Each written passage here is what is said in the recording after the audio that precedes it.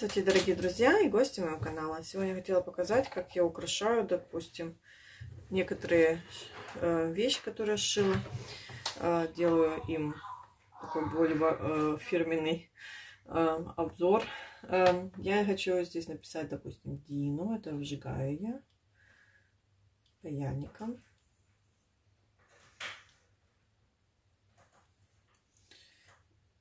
В этот мальчик, который этот шапочку получит. Такая шапочка. Сейчас я вам еще покажу. Он это, мама заказала ему эту вещичку. Она показала мне, какую она ткань хочет. Ну, вот это заказик какой у нас. Так, э, мне еще вот такая шапочка, как, как динозаврик. Такой шарфик и шапочка все вместе получается. Такое и здесь я сделала специально такую утепленную ткань мохнатую. И она он может ее отлично вот сейчас зимой носить. Еще к нему у меня была кофточка и штанишки. Кофточку тоже, видите, сделала вот эти кожаными кнопочки, сделала кожаную обработку. Эм, шарфик такой, э, как эм, воротничок, как шарфик. Это получается худи называется у нас. Это у меня э, кофточка тоже. Я сюда нарисую Дину. Ди... Как динозавр. Вот так. Ну, это будет подарок. Э, не подарок, а вот эм, заказ. Скорее всего, подарок. Ну, вот. Могу паяльник выключить. Пускай оставает. А вам я кое-что интересное расскажу. Эм, ну, вот это покажу еще. Такая кофточка Джетики я сделала тоже так же, как я показывала, как я штанишки шью, только из простой ткани я сделала, не из резинки. Все это из простой ткани я вырабатывала. Тоже сделала как вот это, как на, на штанишках тоже также обработку сделала. Воротничок, размер написала. Ну так я делаю вещи, допустим, на заказ. Здесь э, это получается не настоящая, она такая трапа, чтобы ребенок не задушился. Видите, оно спокойно тянется, а вот это здесь пришито, оно, получается, проходит вот веревочка только так. Кармашек. Ну и тоже такая хорошая ткань. Называется у нас свит. Растягивается во все стороны. И такие динозавры. К этим динозаврам я сделала еще штанишки. Такие же штанишки, как мы делали с вашей, э, с бирочкой. Только я поменяла чуть-чуть э, выкройку, сделала впереди такой манжетик. Сюда мне надо при, при, пришить пуговички. Сейчас их найду. Эм, две э, кармашки. Ну, это вот эта резинка, которую я вам показывала, да. И здесь по кругу я прошила. Здесь тоже надо размер подписать. Вот. А, ну вот, ножки, допустим, да. Тоже все шью верлогом. Это специальная машинка у меня есть для этого, чтобы он так шила аккуратно двойным. Ну вот, это моя такой комплектик по заказу был. Вот. Так, дорогие друзья, я хотела показать насчет машинки, как вы ее настраиваете и как вы э, должны за своей машинкой ухаживать. Э, очень важно, что мы всегда, почти каждую неделю, если я регулярно работаю на ней, или, эм, или вы работаете раз, и потом всегда после работы всегда убираете свою машинку. Это нас приучали уже сразу при э, работе, э, при учении тогда на швею. Каждый раз э, за своей машинкой на, проверять и наблюдать. В основном я это все пылесошу. Э, все здесь ниточки убираются, все пылесосится потом. Все открываю, э, все проверяю. Вот. Э, самое главное ввести э, Смотрите, вот сколько здесь мусора собирается после шитья, да, допустим. Теперь я сейчас рукой делаю, у меня специально тряпочка для этого где-то лежит.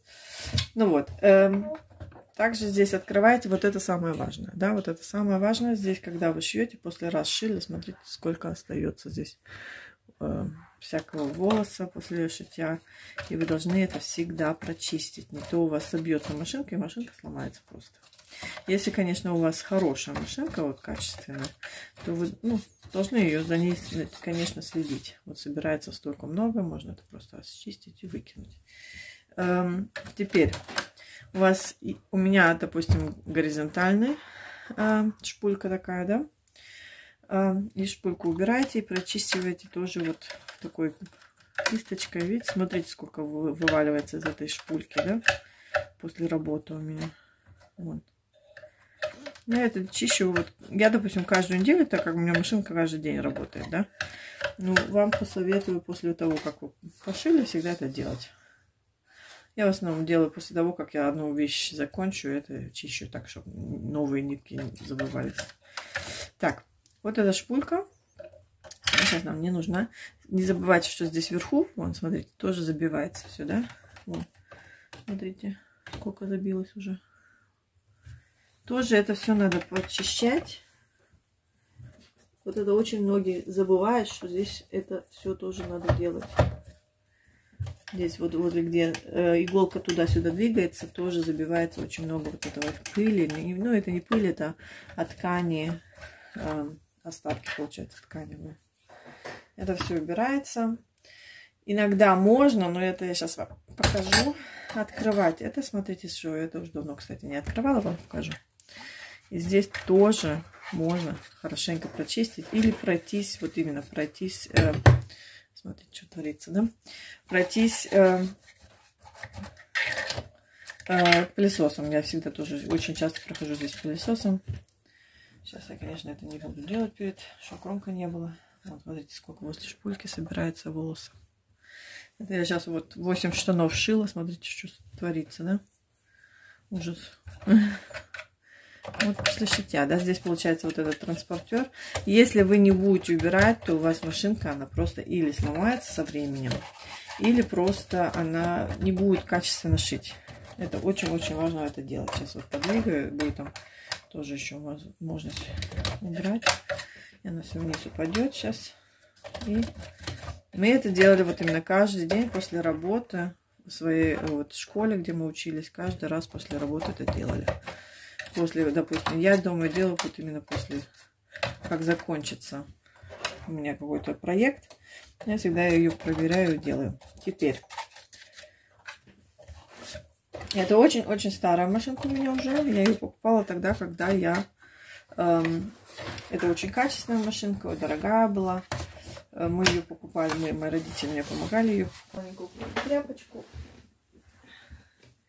и протираю сейчас просто. Ткань его протираю. Вы можете, э, конечно, э, лучше не сырой, а вот пылевой тряпочкой протереть, да, чтобы от пыли было. Да. Ну вот, еще раз проверим внутри, не забилось ничего. Еще раз откроем, посмотрим. Вот, видите, уже находится все равно еще что-нибудь найдется.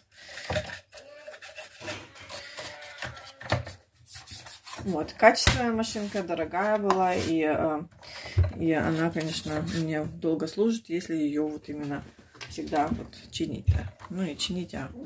Так, э, вверху я протерла тоже самое главное. И тоже смотрите, где э, сейчас уже все это двигается. Теперь я вам показываю еще одну вещь. Конечно, всю плату протереть надо все со всех сторон. Если это не снимается так защелками, то где-то есть э, шурупчики, можно открутить, да. Теперь важно всегда в основном возле машинки даются э, масло с собой. Эм, это специальное машинное масло. Никакое густое масло туда нельзя заливать. Вот именно в основном с машинкой приходит такой маленький тюбик с маслом. Вот уже масло у меня уже больше 10 лет, наверное. Вот пол, пол масла. Совсем маленькую капелюшечку даете туда, в этот э, задний шарнирчик такой маленький шарнир, там, э, ну, двигатель, который двигает вот это все транспортер, да. И также даете маленькую, совсем маленькую капелешечку вот ваших, э, где шпулька лежит, да. Тут есть такое специальное, э, такая, ну, такое место, где можно, э, которое накрутится, да. Чуть-чуть туда помазать. Не наливать прям маслом, а чуть-чуть помазать. Это хватает для всего. И вот уже она совсем мягче все идет. Здесь также я на вот этот шарничек полью чуть-чуть, оно чтобы двигаться. Также здесь всегда вот эта иголка туда-сюда двигается. Я ее тоже сверху помажу вот этим Опять что-то нашла, да? И это опять э, вверх подниму, чтобы оно там промазалось все. Она, вот именно от движения оно все двигается. И вот эти амортизаторы могут, конечно, высохнуть со временем. Поэтому чуть-чуть маслиц, подмаслить, подвигать туда-сюда, чтобы масло просто прошло во все шарнирчики, которые залазить в эту машинку вообще не нужно. Вот хватает только сверху вот здесь чуть-чуть помазать везде. Не бойтесь, оно вам ткань потом не испортит, так как вы, если вы, конечно, не заливаете, да. Эм, просто все это закрываете опять. Эм, сейчас покажу еще. Это масло, оно совсем жидкое, и оно вот именно хорошо распространяется. Не, не, не думайте никаким другим маслом мазать. Именно только вот это специально э, для машинки, да. Если нету, посмотрите в магазинах, где машинки продают, там сто процентов масла вам э, дадут. Ну, или там можно спросить насчет специального масла. Вот сейчас все эти нитки вытащу, которые они уже грязные сейчас. Их можно убрать потом. Так. Вот они, они. Ниточки. А теперь... Эм, Сейчас отклоню сюда, чтобы не мешалось она мне. Теперь можно это все назад поставить. Больше ничего не надо делать. Двигаться сейчас. А, здесь я хотела тоже еще помазать. Это когда идет э, транспортер, который помогает вам ткань двигать. Можно еще сюда замазать чуть-чуть, чтобы он двигался слегка. проверим. Ну, теперь оно сейчас... Вот то, что я масло делаю, масло я делаю раз, может, в месяц. Я не каждый раз это поливаю маслом все время. Это вот я уже давно не поднимала. Раз в месяц надо это поднимать. И э, самое главное, что я делаю маслом, когда долго работаю, вот этот транспортер и вот здесь вверху. Вот это то, что я сейчас специально делаю. Это только для вас показала. Но это делаю где-то раз в месяц. Вот, теперь машинка, она спокойно идет. Так, как не, э, очень вам надо знать, по разным машинкам раз, разно вставляются шпуль, э, э, разно вставляются шпульки. Я, вот у меня она горизонтальная. Я думаю, что те, которые вот так вкладываются, они должны тоже в такую, also, против часовой стрелки крутиться. Вот так. Ну, у вас там, конечно, в описании вашей машинки тоже есть. Теперь важно очень слушать машинку, да, это очень-очень важно, что слышать, как она работает, да. Я сейчас вставлю. Как достать иголку, вы знаете, э, нитку снизу, вот она двигается. Теперь просто вниз воткнуть, вытащить, и вытаскивается ниточка сверху. Да. Вот она. Да. Вот получается здесь две ниточки, их просто вставляете сзади здесь Закрываете все, уже все почистили. Готово. Видите, уже старапана у меня хорошенькая машинка, потому что работает вот именно каждый день. И теперь я возьму э, мой образец, где я его показывала. И попытаюсь сейчас я просто прошить. Прошить. И когда я шью, просто, да, когда я шью, слышно, как машинка шьет. Если она метальные звуки создает, то значит что-то не в порядке, значит э, настроена э, неправильно или она вот именно давно уже не, не была с маслом обработана. Сейчас вот если слышите, она втыкает очень вот, солидно, да, сейчас. Никаких звуков нету посторонних. Вот так она должна и шить, она должна мягко шить и э, втыкаться мягко. Тоже меняйте часто вот эту иглу, потому что эта игла тоже затупается, и она у нее здесь есть. Вот у меня уже игла тупая, я уже чувствую это. И она тоже будет э, создавать вам проблемы, иногда даже э, ткань рвать. Вот, я сейчас попробую.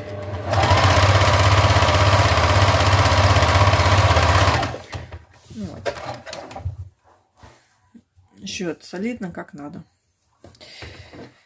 Ну вот, э, следите за своей машинкой. Машинка это такая отличная штука. Часто меня спрашивают, ого, что там надо сделать для машинки. Машинка каждого индивиду... индивидуальная. Вот.